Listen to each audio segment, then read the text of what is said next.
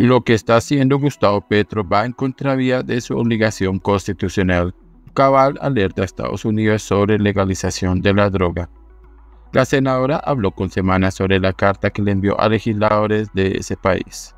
La senadora María Fernanda Cabal envió una carta a cuatro congresistas de Estados Unidos alertando sobre la idea del gobierno de Gustavo Petro de legalizar los cultivos ilícitos en Colombia.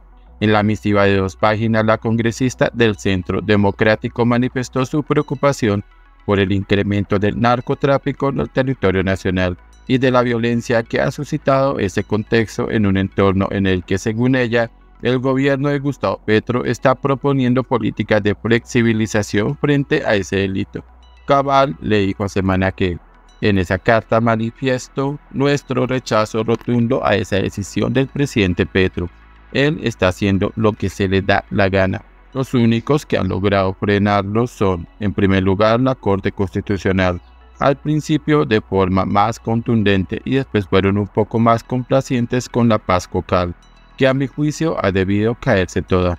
Ahí participamos varias senadoras del Centro Democrático en la demanda y paralelo a eso, el Consejo de Estado también ha servido para ponerlo en su límite. Ese documento en la congresista opositora fue enviado a los congresistas María Elvira Salazar, Marco Rubio y Ted Cruz, este último presidente del Comité de Asuntos Exteriores de la Cámara de Representantes de Estados Unidos. En esa misiva aseguró que el escenario de Colombia es complejo por la propuesta del presidente Petro y su ministro de Justicia de legalizar la siembra de coca, marihuana y amapola. María Fernanda Cabal sostuvo que el país aún carece de un plan de supervisión y control efectivo y que las decisiones que se tomen acá no solo serán un reto para el gobierno, sino también para sus aliados internacionales como Estados Unidos. Es más, la senadora planteó en entrevista con Semana hasta cuándo el Poder Legislativo podrá ponerle límites al presidente pues apuntó que el Congreso de alguna manera lo ha frenado las pretensiones locas de facultades extraordinarias. Vamos a ver hasta dónde se resiste el Congreso a la mermelada. Pero al final de cuentas es un presidente que está decidido a la legalización del narcotráfico con disfraz de planta ancestral y de costumbre indígena.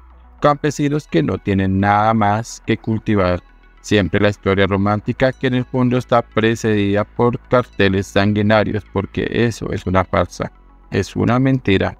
Y continúa apuntando que, claro que usted tiene que atender comunidades, porque este es un país que no se merece que la gente todavía ni siquiera pueda tomar agua potable cuando es el segundo país con mayor riqueza hídrica del mundo. Sí, y que tenga vías. Sí, y que a la gente no la maten. Sí, pero no es incentivando el cultivo de estas plantas con el cuento de que van a servir de abono o que van a servir como planta ancestral. No señor, por ahí no es. En la misiva la senadora Cabal le pidió a los legisladores gringos analizar la situación de Colombia y revisar qué medidas políticas pueden tomar para contener y reducir tanto el narcotráfico como la violencia derivada de esto. Mi carta va dirigida a Ted Cruz, al senador a quien conozco, a María Elvira Salazar, con quien estuve ahora en la posesión de Javier Milei, al senador Marco Rubio también, advirtiendo lo que está haciendo Gustavo Petro que va en contravía de la obligación constitucional y además de la obligación convencional de la Convención contra las Drogas y el Delito, apuntó María Fernanda Cabal sobre la carta enviada a los congresistas de Estados Unidos.